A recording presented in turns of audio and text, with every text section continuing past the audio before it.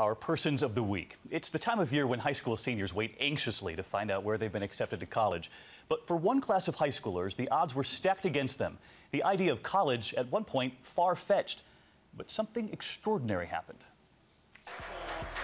Mr. DeAndre Jones. The first graduating class at Urban Prep Charter Academy has a ritual. When they're accepted to college, they receive a special tie of red and gold. Each and every one of them has been admitted to a four-year college or university.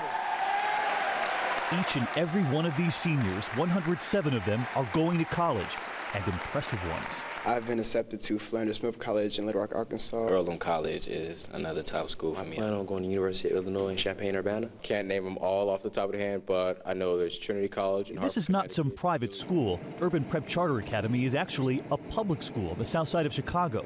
It can be a tough neighborhood for a high schooler. It is open to all students, and there's a lottery. As freshmen, just 4% of this class was able to read at grade level.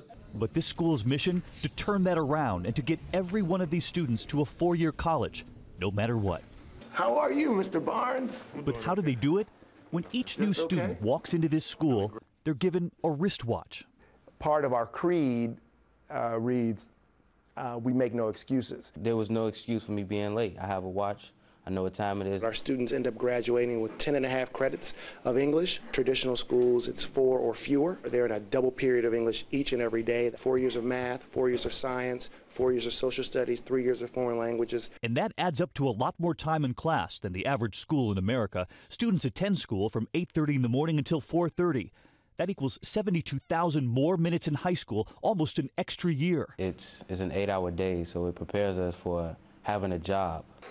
This was the first all male charter school in the country. Educators here wanted these young men to concentrate on the books, not the girls. These young men are ready. They wear suit jackets and ties here, and they wear it with pride. This is their job, and people dress up for their jobs. Now that I walk down the street, I know that people are looking at me and they're paying attention to who I am because I don't look like everyone else.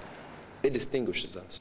This uniform shows that, you know, oh, he's wearing a tie, he wants to do something with himself. Four years from now, we will be celebrating Urban Prep's first class to graduate from college.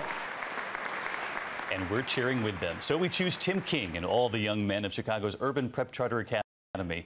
So far, the students have received more than $2 million in scholarships and grants, and they've learned the most important lesson of all, just how far they can really go. And they are just on their way. Keep those watches on.